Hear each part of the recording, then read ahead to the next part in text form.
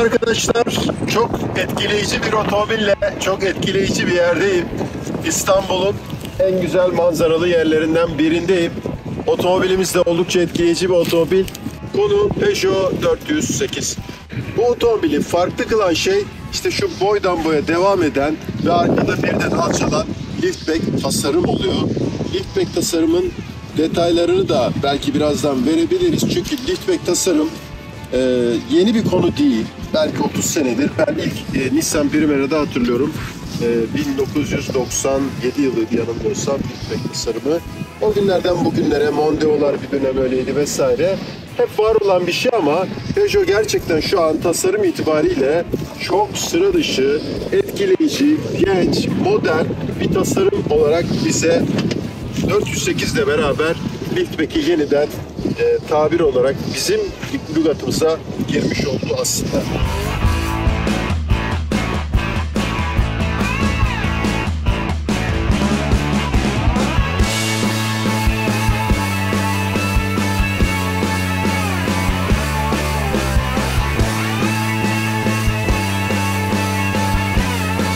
Aslında pek çok model, pek çok markada bu modeller var dediğinizi duyuyor gibiyim.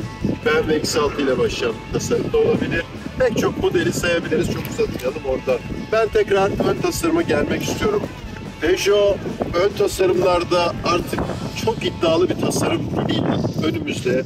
Şu öndeki doku petek doku aslında çok yakından baktığınızda nihayetinde bir plastik ama o kadar güzel işlenmiş, o kadar güzel tasarlanmış ki son derece güzel. Ortada da şu büyük yeni Peugeot logosuyla beraber çok güzel duruyor. Öndeki tasarımı iyi tutan şeylerden biri LED Matrix farlar arkadaşlar. Bunlar otomobilin hem tasarımını çok güzel yapıyor hem de gerçekten gece sürüşlerinde son derece güvenli ilerlemenizi sağlıyor.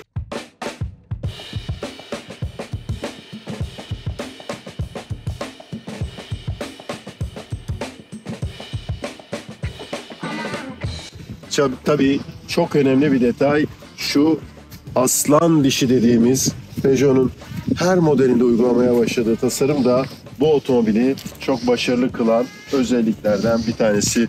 Öndeki kamerayı ihmal etmeyelim. Onu da içeride kullanırken görüyor olacağız. Öndeki tasarımda alttaki tampon da gövde rengiyle boyalı olduğu için arasındaki kısım yine siyah plastik tasarım ama çok güzel duruyor. Geçiş bir e, otomobil gibi duruyor. Yani şu an ben arazi demeyelim burası ama nihayetinde yolun dışındayım. Ona rağmen bu otomobil nihayetinde trendy bir otomobil aslında insanların araziye çıkaracağı, arazide olacakları çok bir otomobil değil. Peugeot modellerinde de zaten çok öyle araziye çıkacak otomobil şimdilik yok diyebilirim. Gelelim yan tasarımda anlatmaya devam edeceğim özelliklerden bir tanesi 19 inçlik şu ıı, jant tasarımıyla beraber ortaya çıkan çok etkileyici görünüm. Sanki elektrikli bir otomobil kullanıyormuş gibi de bir his uyandırıyor sizde. 19 inçin otomobile verdiği yükseklik hissi oldukça güzel. Yan tasarımda konuşacak önemli konulardan bir tanesi tabii ki boyutlar. Tam 4 metre 69 santimlik bir boyutu var otomobilin. C sınıfının sınırlarını zorluyor diyebilirim. Hatırlayacaksınız belki Passat gibi otomobillerin neredeyse boyuna yakın bir otomobil. 2 metre 79 santimlik bir aks açıklığı var. Bence bu otomobili en iddialı kılan özelliklerden bir tanesi de tam olarak burası. Bu yönüyle aslında bir üstte gibi gözüken Peugeot 508'den daha büyük bir otomobil. Genişliği de yine oldukça fazla. 1 metre 87 santim olması lazım. Yüksekliğin de 1 metre 48 santim olduğunu söyleyebilirim. Ee, bir önceki testte Citroen C3 kullanmıştım. Aynı grubun. Ondan bile daha alçak. Dolayısıyla daha kupemsi, daha yere basık haliyle de hem rüzgar direnci güzel oluyor hem de otomobili daha akışkan hale getiriyor tasarımda.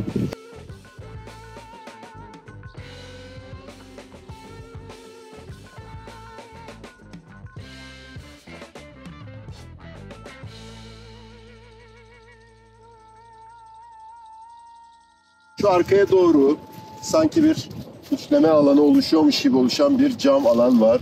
Şu C sütunu diyebileceğim kısım pek bir C sütunu yok. Şöyle gelen bir C sütunu çok alıştığımız bir şey değil. Burası cam detayla beraber e, farklı gösterilmeye çalışılmış. Şuralarda ve otomobilin pek çok yerinde geometrik şekiller var. Özellikle burası çok kaslı durmasını sağlıyor. Gövdeyi e, adeta böyle bir güçlü, kaslı bir e, insanmış gibi, bir canlıymış gibi gösteriyor. Burası çok önemli bir detay tasarımda. Otom lastiklerin üzerindeki şu plastik kısımlar, alttaki plastik kısımlar dediğim gibi hakikaten ona uygun bir yere de girmiş bulunduk ama bu aslında trendy bir otomobil. Çok böyle araziye sokulacak türden. Belki en çok konuşacağımız konulardan bir tanesi. Sosyal medyada bu otomobille ilgili konuşulan yorumlara baktım. En fazla eleştiri alan konulardan bir tanesi buradaki siyah tamponlar oluyor. Gövde rengi kırmızı, siyah tamponlar ne kadar yakışmış deniyor. Ama bana sorarsanız çok yakından bakmadıkça kesinlikle aykırı bulunmuyor. Otomobilin o biraz e, trendy halini, farklı gözüken halini de destekliyor gibi. Arka tasarımda yine LED 3D, 3 boyutlu stoplar çok önemli bir katkı sağlıyor otomobilin arka tasarımına. Arka tasarımdaki şu keskinlikler şurada görüyorsunuz ışıkların yanması sebebi. Burada logonun yine tam ortada konumlandırması. Ortadaki siyah kısım Peugeot 508'de başlamıştı. Peugeot bu konuda oldukça başarılı gidiyor. Şuradan tek tuşla açabildiğiniz bir bagaj alanı var. Tam 536 litrelik bir bagaj alanı. Ondan daha önemlisi şu üstteki kısım e, pandizot dediğimiz kısım camla beraber, bagaj kapağıyla beraber yukarı çıkıyor ve burası çok rahatlıkla sizin yükleme yapabileceğiniz bir alan haline geliyor. Bunun altında da hemen bir bakalım. Evet, yedek lastiğin olduğu bir alan görüyoruz burada. Ee, şuradan da arka koltukları e, 40'a 60 oranındaki arka koltukları yatırarak bu hacmi belki 1500 litrelerin üzerine çıkarabiliyorsunuz. Güzel özelliklerden bir tanesi burada tuşa basılır.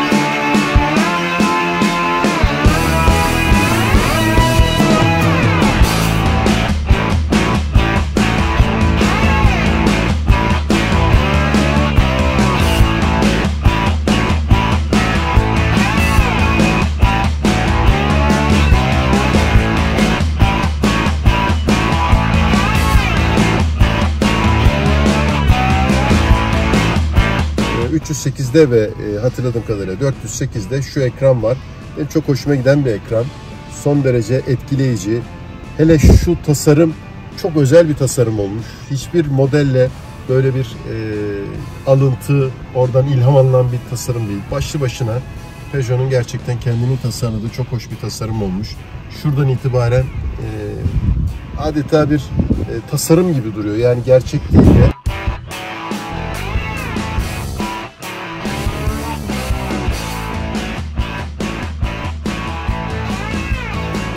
Şuradaki ekran ikisi de 10 inçlik onu hemen söyleyebilirim. Buradaki ekran iToggle özelliği var. Yani nedir? Sizin daha önceki yaptığınız e, bir takım davranışları alışkanlık haline getiriyor. Dolayısıyla e, siz bir şeyleri yaparken, bir yeri bulurken, bir yere bakarken, klima ile ilgili bir takım işlemler yaparken biraz sezgisel diyebileceğimiz bir takım özellikleri var.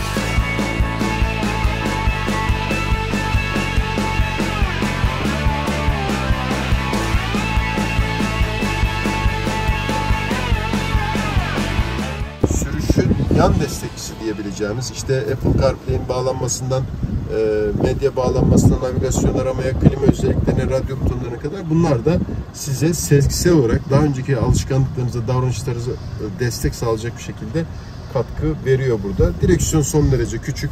Oldukça bizim alıştığımız Peugeot modellerinde bildiğimiz e, sporda duran hatta böyle tutanlar da var. İnce ekran biraz şeyin arkasında kalabiliyor. Şöyle yaptığınızda mesela aşağı çekmeniz gerekiyor. Biraz spor kullanmanız gerekiyor direksiyonun pozisyonunu. Deriyle metalin birleşimi, şu aradaki metal kısım çok şık bir detay. Bence hakikaten çok iyi duruyor. Çok üst düzey duruyor. Artık tuş biliyorsunuz şu şekilde işte şey sağlayabiliyorsunuz ileri geri. Manuel aldığınızda da şuradan kulakçıklarla çok Peugeot'un uzun yıllardır kullandığı F1 vites koluyla hareket ettirmeniz mümkün. Şurada da Eco normal ya da sport moduna geçmenizi sağlayan tuş var. Bu da yine çok pratik. Hemen şuradan takip edebiliyorsunuz. Burada kablosuz şarj sağlayabildiğiniz bir alan var. Buradan yine Type-C çıkışı alabiliyorsunuz. Ee, ön koltuklar çok geniş tutulmamış ama son derece e, özellikle sırtlıkları itibariyle çok e, saran bir sırtlığı var. Bu önemli. Burada koltuklar e, şöyle yapayım. Tekrar kapatıp açmam gerekecek galiba. Burada 3D özelliği var. Onu da söyleyebilirim. Ekran, şuradaki ekran 3D olarak 3D, 3 boyutlu olarak görebiliyorsunuz. Yanda oturanlar da bunu görebiliyor.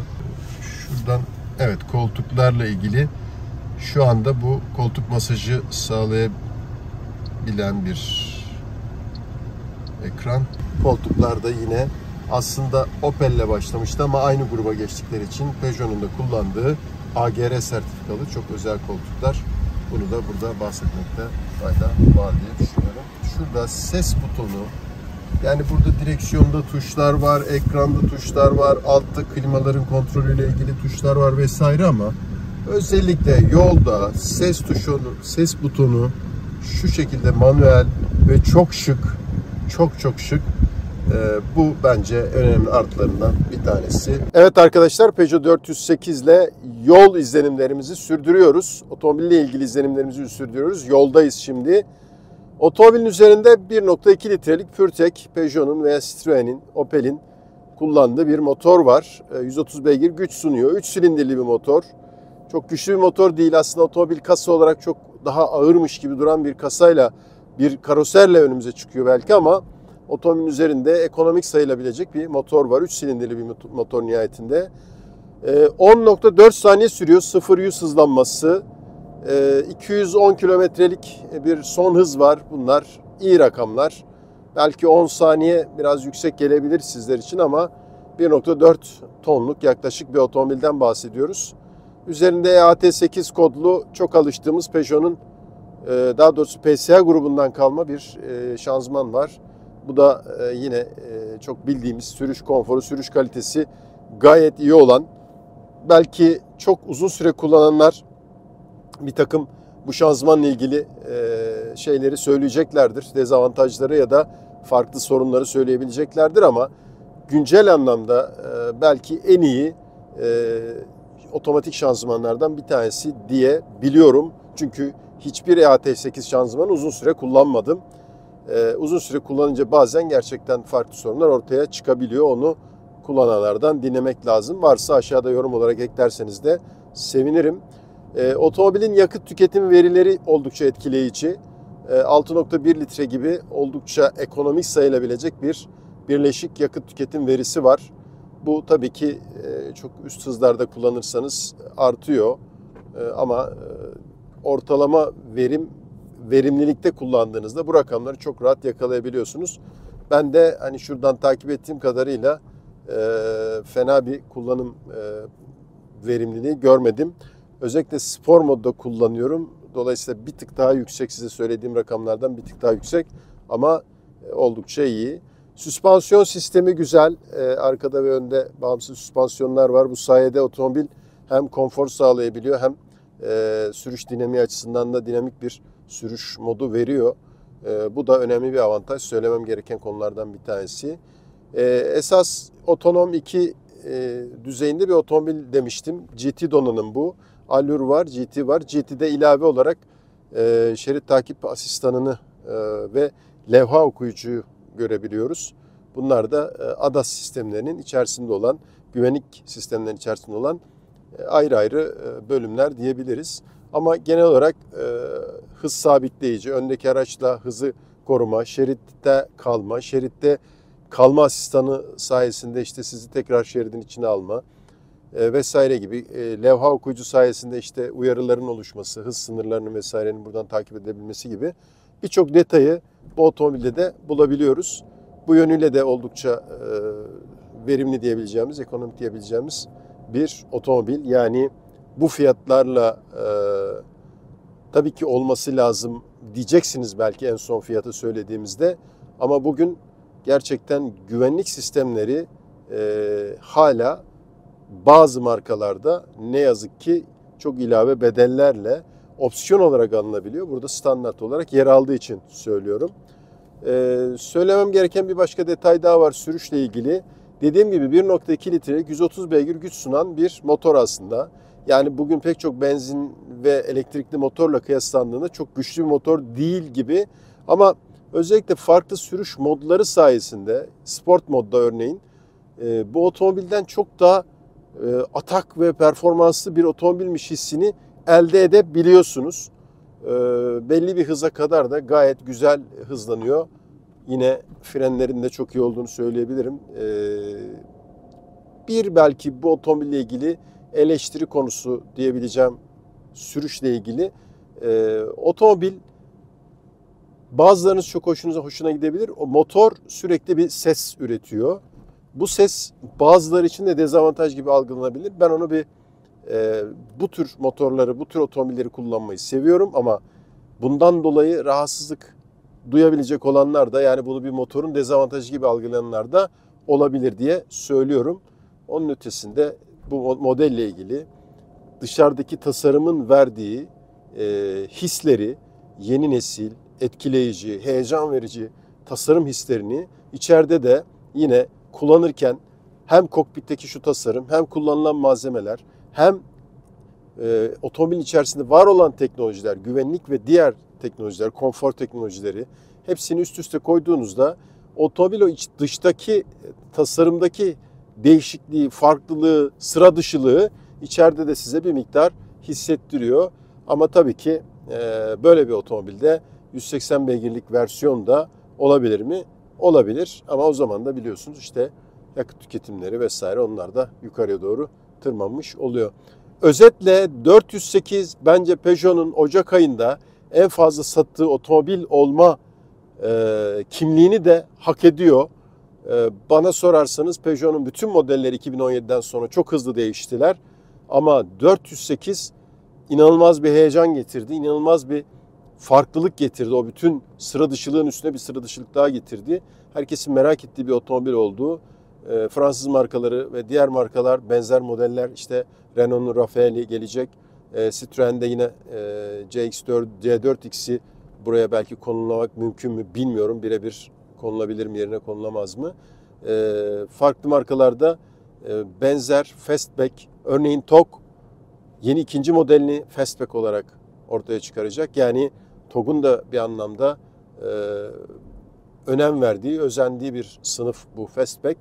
E, bana göre etkileyici, o suların sıkıcılığından veya suların sıradanlığından uzaklaşan bir model, sıra dışı bir model. Kullanım özellikleri itibariyle de bak ben de böyle bu böyle tutarak geliyorum. Alışkanlık yapıyor. Hakikaten direksiyonun orası beni buradan tut diyor. Evet 408 ile ilgili söyleyeceklerim aşağı yukarı bunlardan ibaret. Ee, ben beğendim bu otomobili. Yaklaşık 2 milyon TL'lik bir fiyat etiketi var. Şu içinde bulunduğum GT üst donanım. Allure donanımı aşağı yukarı bir 220 bin lira falan biraz daha avantajlı duruyor bu modele göre. Ee, içerisinde işte eksikler neler var ee, onlara da tek tek bakmak lazım. Ama GT donanım böyle bir otomobil almışken GT almak gerekiyor diye düşünüyorum. Ee, ve yaklaşık bu fiyatlara da işte C SUV sınıfındaki çok satan modellerinde benzer fiyatlarda hatta daha yukarılarda olduğunu söyleyebilirim. Ne yazık ki hani başta size pahalı gibi geliyor ama neyle kıyasladığınıza baktığınızda e, benzer e, markaların, farklı markaların benzer modellerinin, benzer bile değil klasik SUV modellerinin bu fiyatlarda olduğunu, bundan daha üstte fiyatlarda olduğunu maalesef görüyorum. Bu yüzden de fiyat fayda denkleminde de gerçekten iyi bir fiyatlandırma yapılmış diye düşünüyorum. Ee, 408 ile ilgili yorumlarınızı aşağı yazarsanız çok sevinirim. Önümüzdeki hafta yeni bir videoda buluşmak üzere.